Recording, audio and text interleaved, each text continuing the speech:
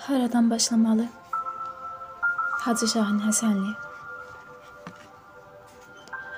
Daxilimizdə hər hansı bir tələbat varsa, o tələbatın bir qarşılığı da olmalıdır. İstər maddi, istər intellektual, istərsə də mənəvi tələbat mövcuddursa, şübhəsiz onların təmini də zəruridir.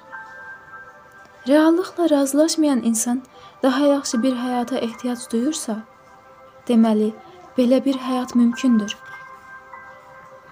19-cu əsrin sonları, 20-ci əsrin əvvəllərində qərb fəlsəfəsində eksistensializm adlı yeni bir dönəm başladı.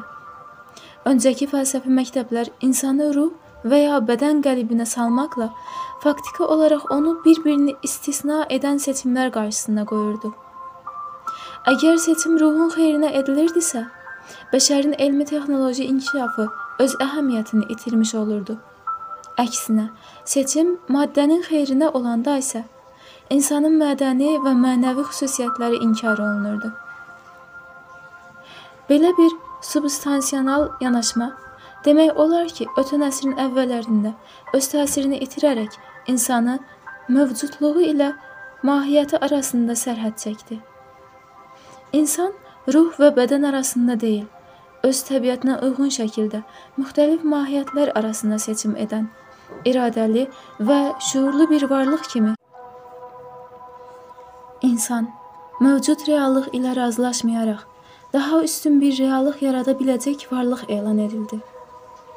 İnsan qəlbləri sındırıb Nissenin tədbiri ilə desək, Nissenin təbiri ilə desək, fövqəl bəşər olmaq üfüqlərini kəşf etdi.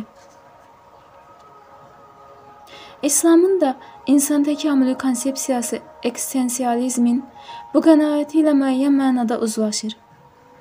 Quran məntiqi ilə insan azad seçim vasitəsilə ətraf aləmin ona sırıdığı qəlibləri dağıdaraq daxili potensialında daşıdığı kamil insana çevrilir.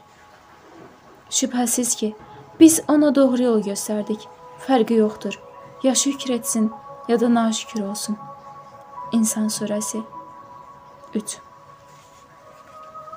Yəni, bizim yaşam tərzimiz hər an daha yaxşı və ləzzətli ola bilər və olmalıdır da. Lakin bunun baş verməsi üçün insan mövcud durumundan narazı olmağı bacarmalıdır. İnsanı digər varlıqlardan ayıran başlıca amillərdən biri də məhz budur. O, reallıqla razılaşmamaq qüdrətinə malik yeganə varlıqdır. İstənilən təkamülün də mühərriki məhz insanın bu xüsusiyyətidir. Mövcud durumla razılaşmaq isə onun üçün durğunluğa və tənəzzülə bərabərdir. Heç bilirsiniz, Həzrəti Muhammed peyğəmbər sallallahu alihi və səlləm öz dəvətinə necə başlamışdı? O, ilk sözünü xalqa çatdırmaq üçün Səfa dağına çıxır və Məkkəlilərə səslənir. Cəmaət ətrafına toplaşandan sonra isə soruşur: Düşmənin dağın arxasından sizə həmlə etməyə hazırlaşdığını desəm, buna inanarsınız? Bunu deyər deməz bəziləri əllərini silaha atdı.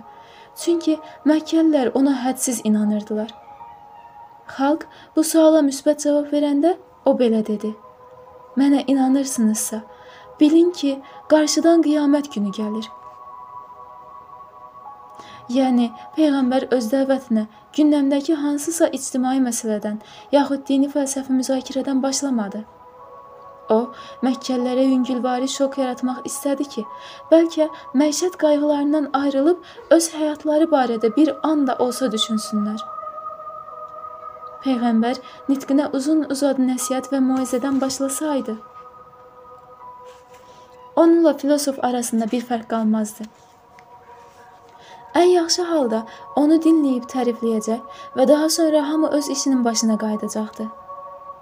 Ona görə olduqca mühüm idi ki, insanlar həyatın mənası və məsuliyyəti barədə düşüncələrə dalsınlar.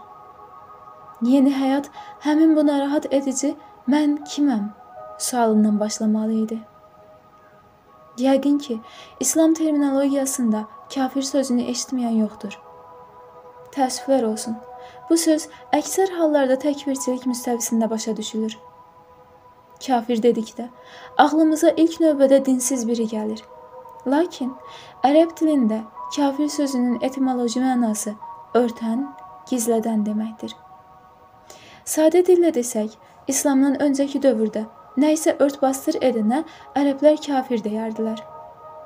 İslam terminologiyasına bu söz dinsiz, imansız mənasına daxil olduğuna görə kafir maddi tələbatını qabardaraq öz mənəvi tələbatını ört-basdır etməyə çalışan biri kimi başa düşüldü.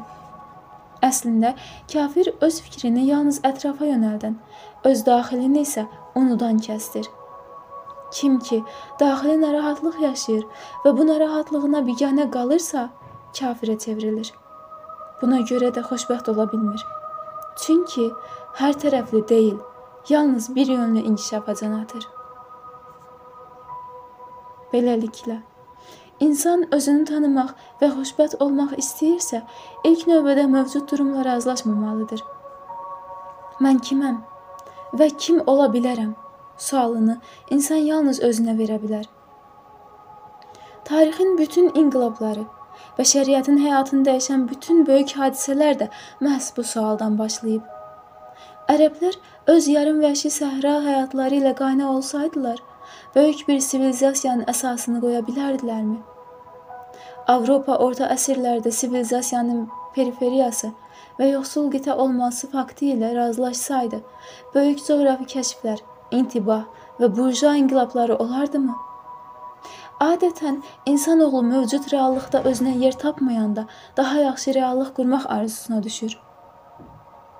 Həyatın dinamikası bu amildən asılıdır. İnsan ilk öncə tərəqqiyə ehtiyacını üzə çıxartmalıdır ki, daha sonra ona can atsın. Əks təqdirdə hər bir proqressiv ideya elə ideya olaraq da qalacaqdır.